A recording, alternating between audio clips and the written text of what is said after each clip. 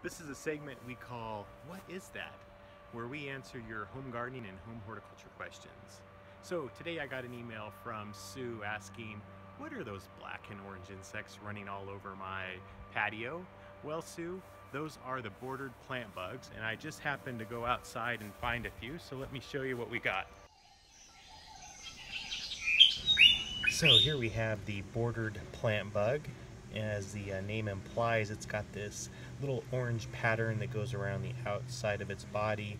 It also has this little black diamond shaped pattern on its rear end. So this time of the year, we often see bordered plant bugs, the adults, uh, coming out of winter hiding. They've been uh, basically stowing away all winter and uh, temperatures are starting to warm up and we often see them during the warmer part of the day scurrying across concrete uh, sidewalks, um, mulched beds, uh, anywhere where it's basically warm. We also often see this time of the year the adults mating and so here we have uh, two adults that are uh, hooked up uh, rear to rear and soon the females will be laying their eggs. once those eggs hatch you'll see all sorts of little black shiny metallic bugs running around on many of your uh, plants. Now, these little shiny bugs will have a little red dot on them and that's a really good way to uh, identify these early stages of the uh, plant, uh, bordered plant bugs.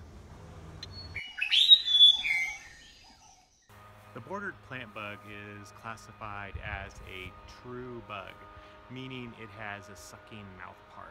So unlike other bugs in the garden that have chewing mouth parts where they actually chew on the leaves and chew on fruits and can cause severe damage, these guys basically have a little needle-like tongue that they pierce into plant tissues and then suck out the plant nutrients.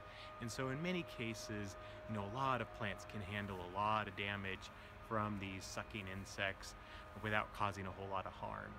Uh, so in many cases, we don't actually recommend treating for the bordered plant bug.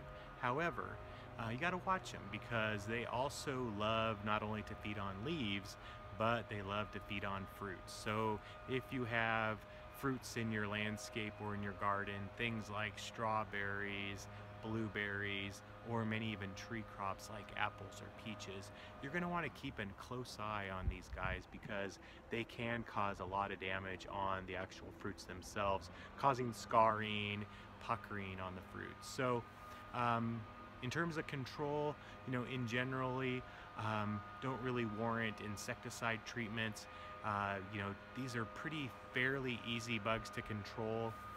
Usually this time of the year, uh, as the adults are starting to mate, I'll simply go around the yard with a container and scoop them up uh, and then dispose of them.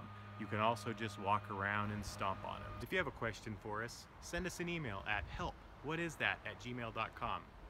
Follow us on Twitter at hashtag whatisThat and Facebook and our website. See you next time.